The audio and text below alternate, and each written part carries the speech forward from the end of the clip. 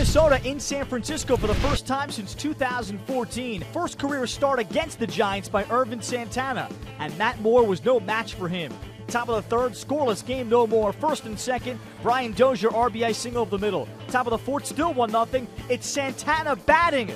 And this is going to be a bases clearing double off of Matt Moore. He doubles his career RBI total from 3 to 6 with this one swing. 4 0 Twins. He would handle the rest of the mound. Bottom of the eighth inning, he strikes out Austin Slater and pinch hitter Gorky Hernandez swinging. Then he gets Denard Span to roll over, and he'll handle it himself.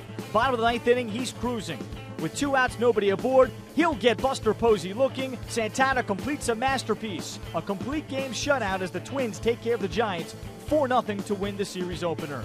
The Giants have lost 8 of 11 overall third shutout of the season for Santana, he threw just 91 pitches to improve to 8 and 3.